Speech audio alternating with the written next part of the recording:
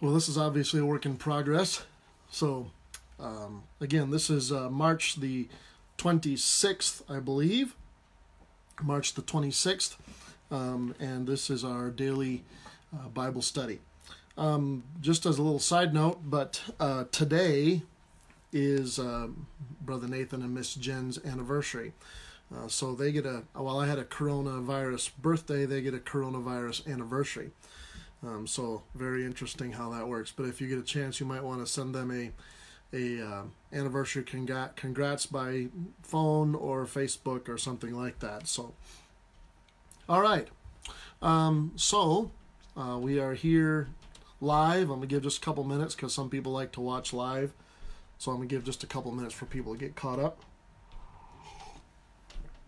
We're working on uh, Brother Nathan and I are becoming um, um, more adept at uh, production, trying to figure out how to uh, how to do all this in a manner that is more uh, um, enjoyable to watch. So uh, here we are.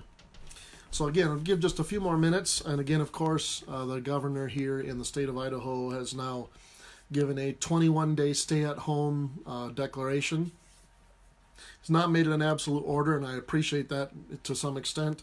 I know it may it may be necessary in time to come because of the way some people uh, just don't listen or don't believe and don't have uh, don't follow uh, what's instructed. Um, so I would encourage you, whether you think it's a big deal or not, just at this point do what he asked. Romans Romans 13 is pretty clear uh, that we are to obey those that have the governorship over us because uh, they care for our souls.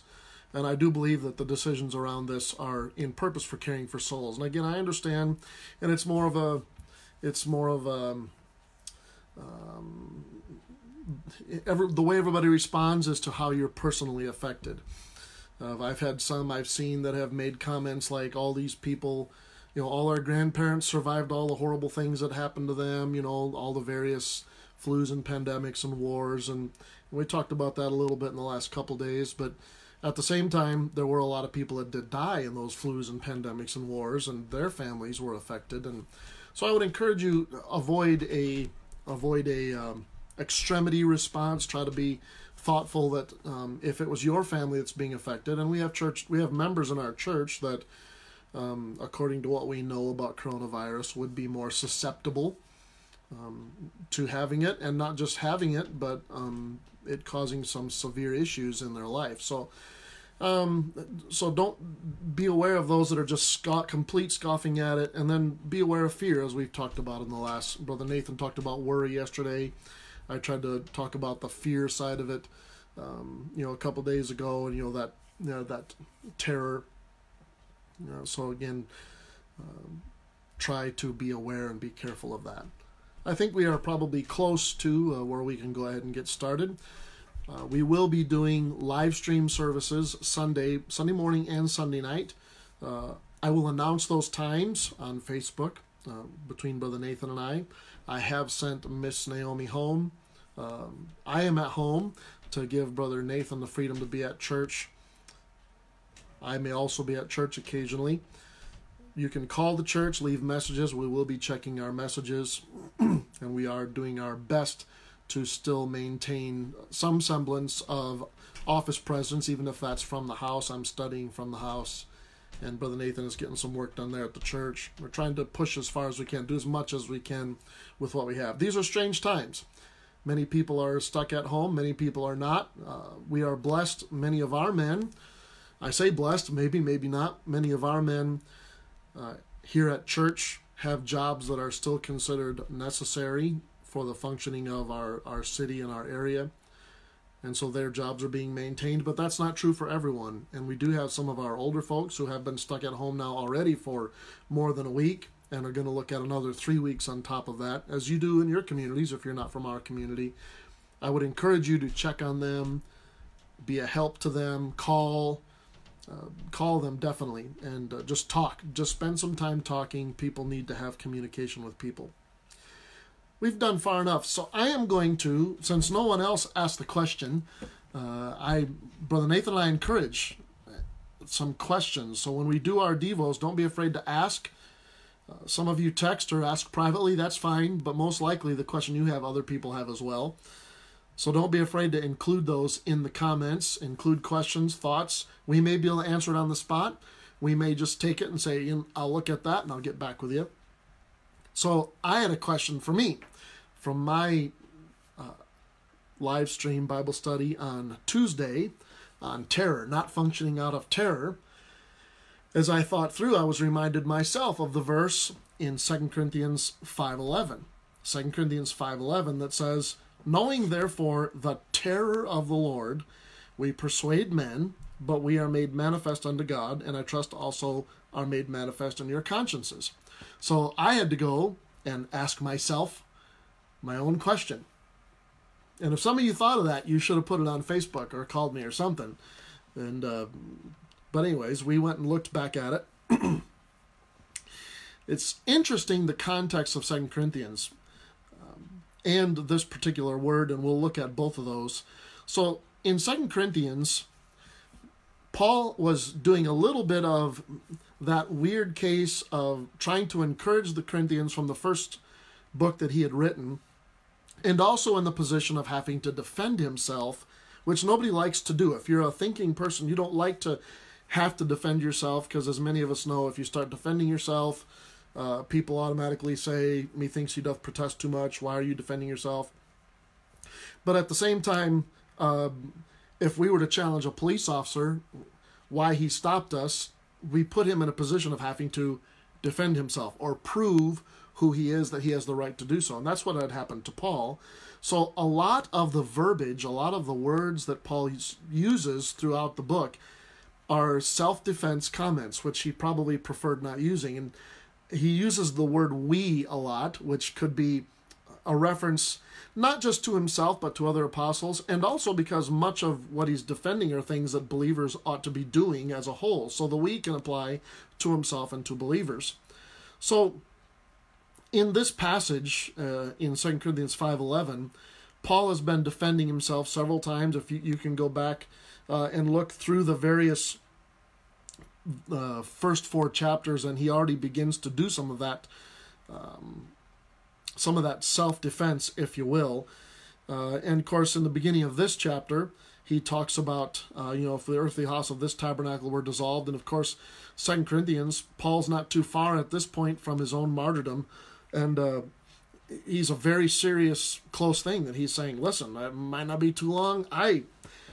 This tabernacle might be dissolved. And it's really even interesting, just the words. Look up words. It's a lot of fun because even this word, we know that if the earthly house, our earthly house of this tabernacle were dissolved, uh, the tabernacle was a tent. The word dissolved is almost can almost be the same idea as striking a tent. In their idea, it was a word that could have been used for either or, striking a tent, um, or, or dis, you know dissolved, destroyed. Uh, just really cool how that works. But uh, he, in other words, he's comparing his own life here, not as a permanent thing. It's just a tent. Um, and he said, you know what? I've got a very important life. I'm an apostle, but this is just a tent. And one day I'm going to strike this tent, or God's going to strike this tent, and I'm going to be in my permanent home. And he says, that's why he compares it in verse 1 tabernacle to a building of God and house not made with hands, eternal in the heavens. That's just cool stuff. So pay attention to things like that. But so here's Paul, and he says, For in this we groan, earnestly desiring to be clothed upon.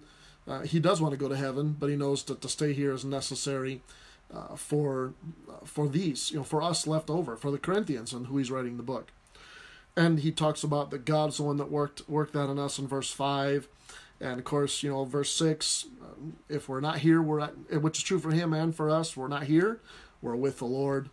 And he says in verse 9, he says, That's why I labor. This is why I'm laboring and why we should labor, that whether present or absent, we may be accepted of him. Because this isn't where we're living. This isn't our permanent home. Our permanent home is going to be in heaven. And uh, so we ought to be working in regard to what's coming in heaven, not to what we have here. So you hear some of that. I, I'm doing what I'm doing because this is not our permanent place. We all have to, we all have an afterlife. You know, we're going to go to heaven. We're going to face God. That's why that's why I'm doing what I'm doing. And then he says in verse 10, you know, here again, talking about the afterlife, for we must all appear before the judgment seat of Christ. Now, that's very good context to put it in here. So, who appears at the judgment seat of Christ? Not the lost. That's the great white throne judgment. He's referring to the judgment seat of Christ as where believers are judged. And of course, if we go look through the rest of the book of 1st and 2nd Corinthians, we find out that the purpose for the judgment seat of Christ is to for and he says here that everyone may receive the things done in his body according that he hath done, whether it be good or bad. And we know from other writings of Paul that the bad will just be burnt up. There's no there's no um, judgment per se there, but there's nothing to receive from bad works. There's nothing there to receive. It gets burnt up. Okay, it just disappears. So the bad to, to receive there, you know, we're going to receive what? a loss is what we're going to receive a loss of all the stuff that's just burnt up and then god's looking for those precious jewels the good motive uh, works that are there so he says listen this is why i'm doing what i'm doing because there is a judgment seat you know and, and uh, one day i'm going to stand before god and god is going to look at what i've done and can we just pause a sec the very next thing he says is knowing therefore the terror of the lord uh, I don't know about you, but I'm concerned about what God uh, thinks of my works. And it is a little scary to think about. It, it's not scary as in I am utterly terrified, but it is a. Sometimes we would use the word mortified in our day and age now. Uh, it, it is a scary thing to think about. And, you know, I, to think about that feeling of standing before God and Him judging our works and finding out that a lot of what we've done, and we already know a lot of what we've done is just going to go poof. Uh, that's a scary thing, knowing therefore the terror of the Lord. Uh, you know, uh, I and I hope you would have some sense of that also. You know that one day we're going to stand before God. It's like if I could put it this way, I've used that before, where Dad, my dad has left a list of of chores to do uh, during the summer, and he goes to work, and I've got this list, and then. Um, I mess around and don't work on the list. And then as I'm messing around, I see dad's car pull in the driveway. And I'm reminded I didn't do my list. And you know what that feels like? That scary, that scary feeling. That's that's the kind of thing that uh, that Paul is talking about here. And it's interesting because the word terror here is one of those words that can be used as a mix. It can be used either or. It can be used for terror or for awe or reverence. And we have that same thing. Again, I reference the word that we now use that, not a definitive, but we use, I would be mortified, you know, um, if something like that happened. Knowing, therefore, the terror of the Lord. And then he adds this couple of statements. We persuade men. Now, again, in context here, he's not talking about the, the great white throne. So it leaves us a little bit of question what what what is he persuading men of and which men is he persuading? because he's talking about the judgment seat of Christ. He says, Knowing therefore the terror of the Lord, we persuade men. He's not done. He says, But we are made manifest unto God. He said, I'm having to defend myself before men. I don't have to defend myself before God. God knows who I am. Okay? What's he been doing in the book of Second Corinthians? He's been defending himself against accusations that he's trying to use his power or his his uh, personal presence to just get people to do what he thinks is right. No, Paul is saying, no, that's not what I'm doing. I'm trying to get people people understand that there's a judgment seat of Christ coming.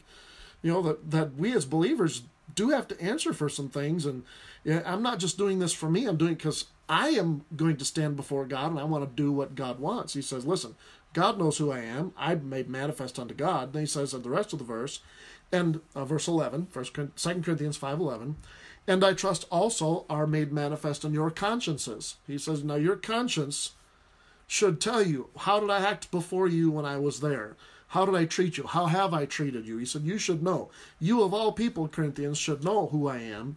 He said, But for the rest of these people, I guess I'll have to persuade men. So it's highly likely that this persuade men may have nothing to do with persuading men to salvation, but having to persuade men that he has come not because of to, to build himself up or to lift himself up, but because he has to answer to God and he is on purpose trying to do what God wants him to do because he has to answer to God also. Um, but let's just say it is. let's just say, for the sake of argument, that it that it is talking about persuade men to salvation. Okay, let's. I think there's a question as to whether that's true or not. So, if it's going to talk about persuade men to salvation, what's the context in which terror is being used here? In verse 11, again, knowing therefore the terror of the Lord. It does not say using therefore the terror of the Lord. It does not say um, terrorizing people because of the Lord.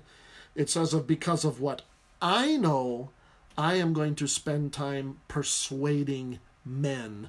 Persuading. What is persuading? It's not uh, you know cuffing them upside the head and saying you ought to believe this or blah blah blah blah blah. No, it's it's spending time listening to what they're saying and then trying to be persuasive, using God's word, using proper arguments for proper objections to teach people and help people understand who Jesus is and what the judgment seat of Christ is, what the afterlife is all about. Um, so even at that, it does. It's not forwarding the idea of using terror, okay, to persuade men. It's just knowing again that one day I'm going to have to stand before the Lord and answer for this, which again ought to just like me when my dad pulling in the parking lot or pulling in the driveway, make us go, uh oh. Um, listen, we do have to answer to the Lord for what we're doing.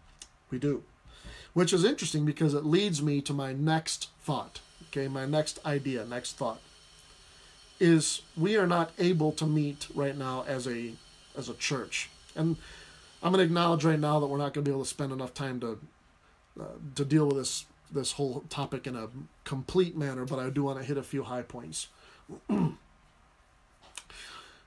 we're not able to meet as a church. The primary thing that a church does is assemble. It comes from the very word church uh, in the Greek word ekklesia, called out assembly. It's a group of people meeting in one spot. Uh, literally, the Greek word means a, a an assembly, and, and it even refers to the individuals as they meet. It doesn't even refer to those individuals when they go home. They're just average citizens, but when they come and meet, they become the assembly. Really interesting how that's. Uh, matter of fact, I want to do some more study on that word and that how that's used.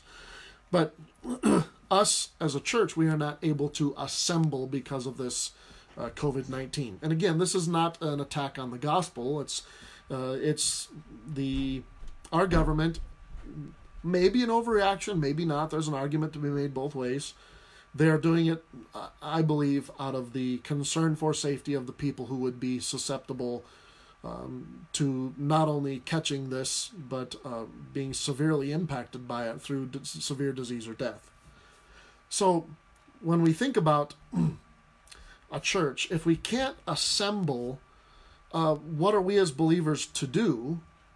And how can we still maintain some semblance of church? Well, I think we've answered that somewhat in these daily Bible studies and in our live stream on Sunday. We can't assemble, but we can maintain some of those practices to help keep our heart and mind uh, turned that way. But this is a very good time for us to examine our life as believers.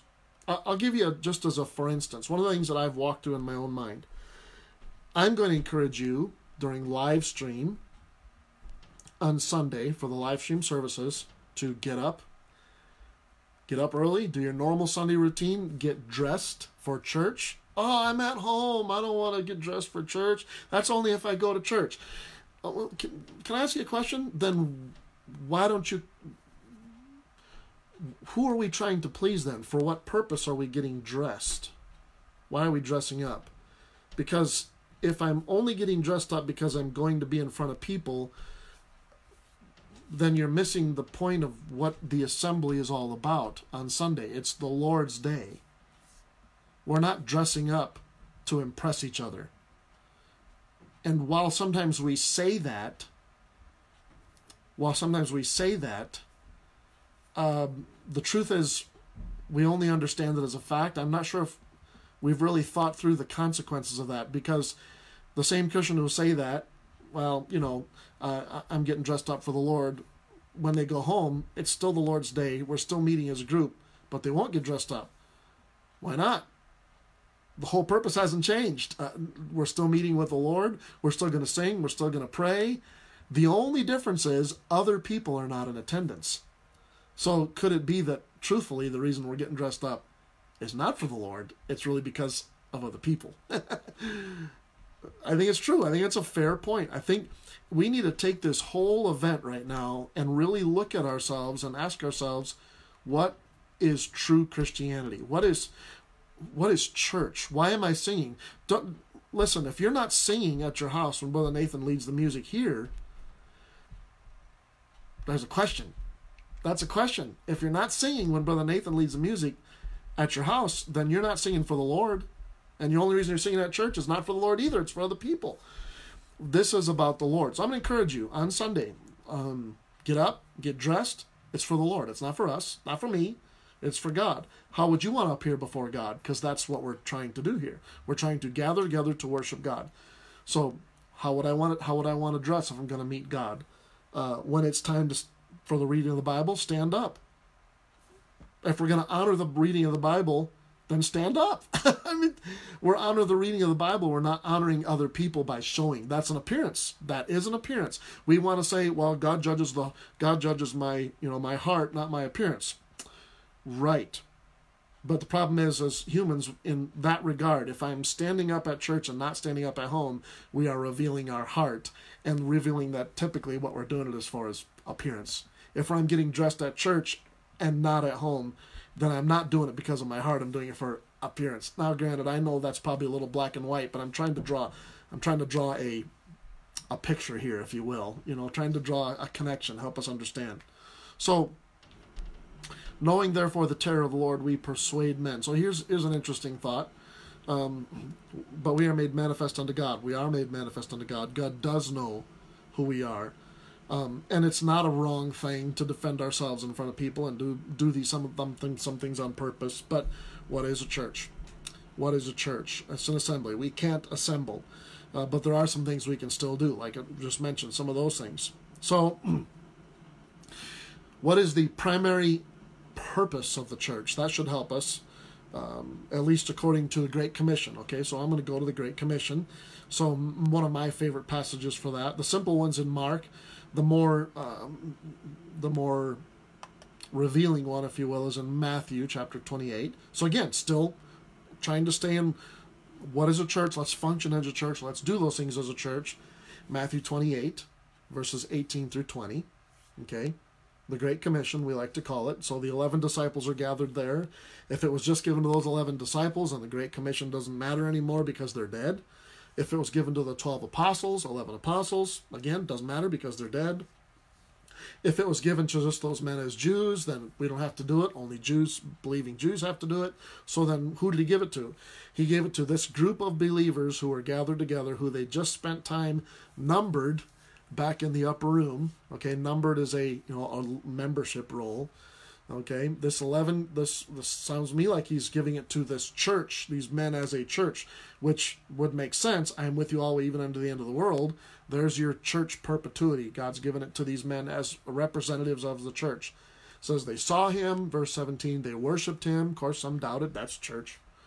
Verse 18, and Jesus came and spake unto them, saying, All power is given unto me in heaven and in earth. Go ye, therefore Okay, so again, ye is a plural word. Wise, wise in the King James are plural. Y pronouns are plural, and T pronouns are singular. Um, that's why the King James uses these and thous and ye's and yous. And so you is not an individual thing, it's a plural word. Um, again, so verse 19, I'm using again a lot, aren't I? I'm going to have to work on that. Verse 19, go ye therefore. So all of you as a group, each individual in the group, go you, go therefore, you therefore go and teach. So there's number one, teach all nations. Can we still do that? Is that what we're doing now? That's what we're doing right now. That's the purpose of these Bible studies. It's a good thing to encourage uh, other people. I've already got calls from some of our church members who are actively trying to work with their family and try to encourage them. Um, I have had opportunities, again, as I've mentioned before. Uh, there was that again, again. Uh, Brother Nathan and I both have had opportunities to talk to um, salespeople, you may have an opportunity to talk to a you know grocery store attendant or a construction worker or a, a, plumber. Those people have to come into our houses. HVAC guys. You still have an opportunity to teach. Now, teach does not mean win. It just means teach. Teach. Teach people about Jesus. Teach people about God. Teach people what Jesus came for. And listen, teaching implies that I have to understand how that person is learning. Because if I'm going to teach, I have to know that they're understanding what I'm what I'm teaching. That's one of the reasons we're doing these Bible studies and we want interaction because we want to know are you understanding what's being said? Um, is there something that you have a question about? Because if there's a question, there there's probably an answer for it. We may not have it right now, but we'll go get it. That's what teaching is all about. A teacher to teach is going to come up with new inventive ways to be able to get one concept across to many different ideologies. So teach. You can still teach. We are still teaching. You can still spend time teaching. That's one thing we can still do. This this whole coronavirus quarantine does not stop us from teaching. So teach all nations, baptizing them in the name of the Father. Technically, we could still baptize. I'd probably wait. I mean, personally, I'd probably wait till we could gather the church uh, together. Uh, but technically, we could probably still baptize. Okay, uh, the Father, Son, and the Holy Ghost. And again, verse 20, 28, 20 teaching them to observe. So now we're talking to those who are believers to observe all things whatsoever I have commanded you. This is a great time to start teaching your kids. What does the Bible say? Mom, why are we getting dressed for church? And we're not going anywhere. Why are we reading the Bible? Why are we watching preacher on the laptop or on the phone? Um, teaching them. This is an opportunity to teach our kids what is important. Why is church important? What is what are we doing these things for? Who are we doing these for? Teach them. Teach them to observe all things whatsoever I have commanded you. Thank the Lord, and lo, I am with you always, even unto the end of the world. So there's a very good thing we can do right there is is teach. Continue to teach. Uh, con- continue to gather. Um, teach people. This this does not, and we've got great opportunities right now. We can use video, Facebook, YouTube there's many opportunities. I happen to know that there are people that have been attending our church right now who are actively using YouTube as a teaching tool uh, for anyone who will listen. I think that's a great thing. I, we very, may very well take these Facebook Live things and also duplicate them to YouTube and some other uh, locations uh, merely to spread the gospel in as many ways as possible. These are great tools to do that with. I have a dear friend, Pastor Marvin McKenzie um, who started a YouTube um, daily Bible study like this. Uh, through the process of that, met some preachers in a country that I won't I won't name right now, but a, a very uh, if I remember it might not be the best to name that particular country, but it's we'll just say it's generally in the Middle East. Uh, he began to be able to teach those men, and now they're planting a church because of this interaction right here. That that's that is the purpose um, it's a great tool for us to use this for to continue the purpose on the teaching of the Great Commission. Great. I hope we can do that. Let me take you to another another passage just real quick. Acts chapter 2. Uh, I'll read it for you. Acts chapter 2 and I know I know this is more historical but it is an example. Um, I believe it's a, a, good verse for our example. So Acts chapter 2 and verse um, of course, you know the section 40 through 42. Peter preaches, and with many other words did he testify and exhort, saying, Save yourselves from this untoward generation. Verse 41. Then they that gladly received his word, so that's believers, they gladly received his word. They were baptized, and the same day were added unto them. Again, there's a colon there that connects baptism to, to church membership. The same day there were added unto them about 3,000 souls. Verse 42 and they, who is that?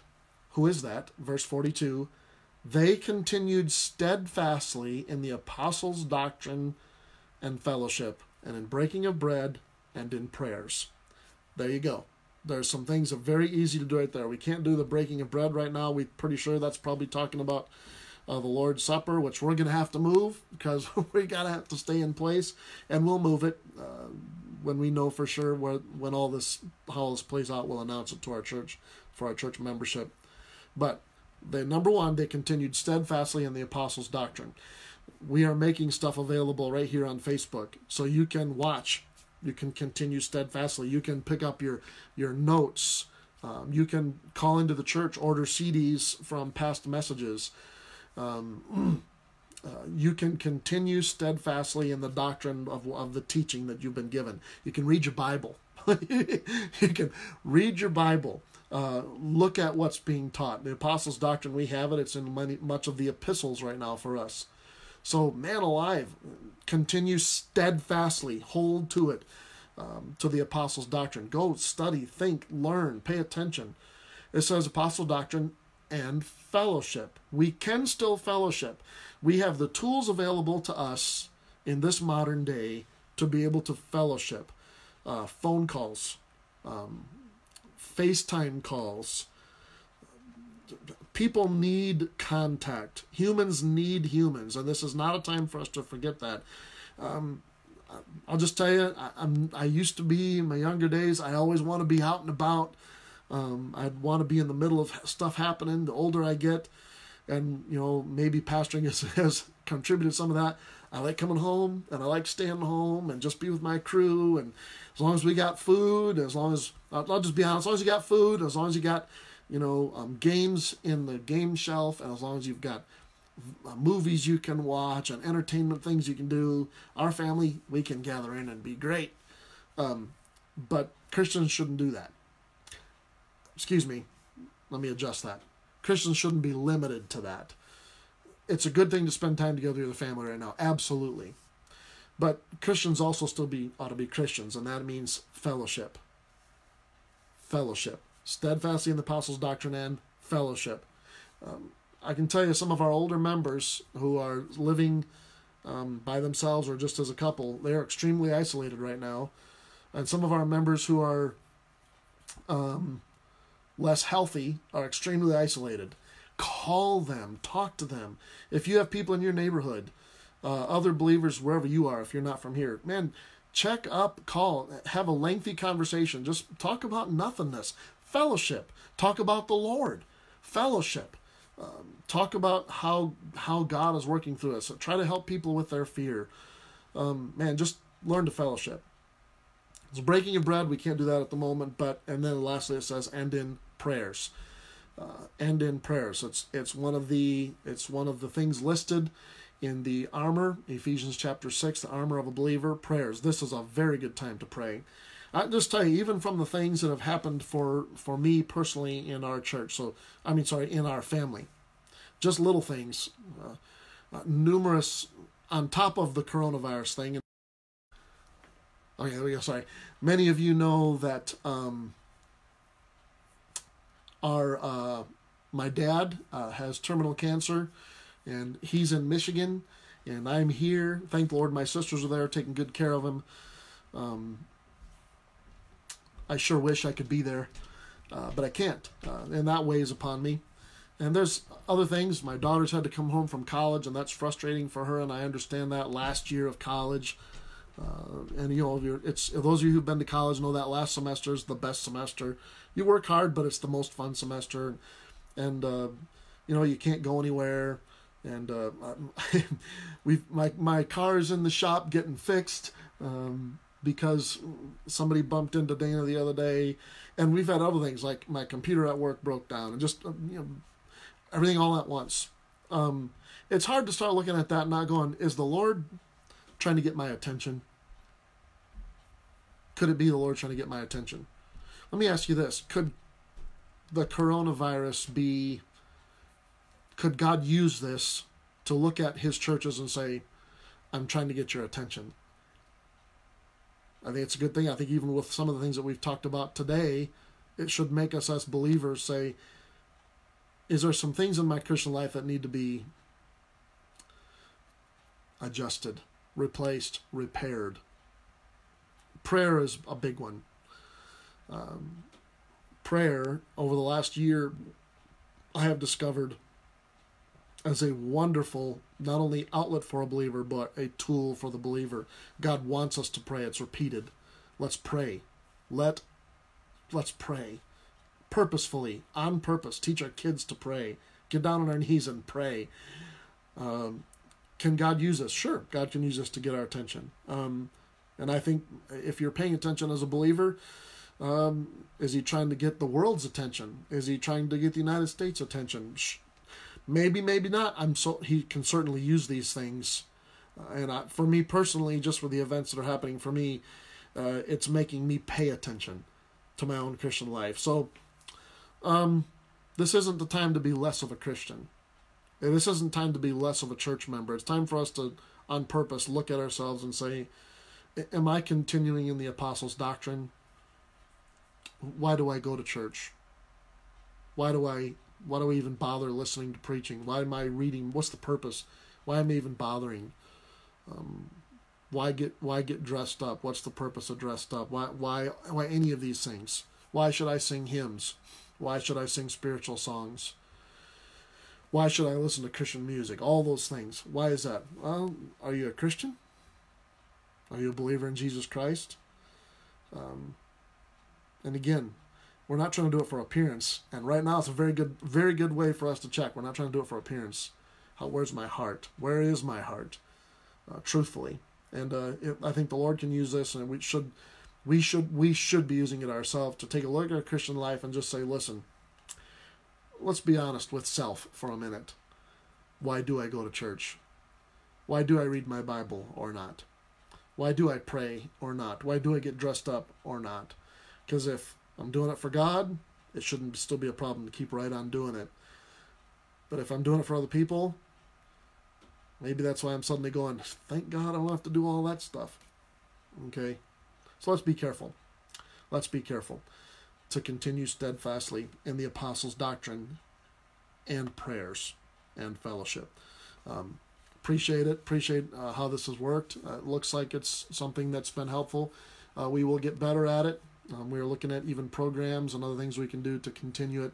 Uh, yes, Miss Judy, we're, and we're we got to figure out how to get it on YouTube. Also, there's a um, process we have to work through right there to make that happen. So appreciate everyone. Uh, if you have any questions, uh, you can email me at pastor at jeromebbc.com. Uh, so that's pastor with the ampersand, shift two on your keyboard. Um, jeromebbc.com, and I'll be I can get all my emails here. Uh, those you have my number, you can text, call, you can Facebook, you can send Facebook messages to us.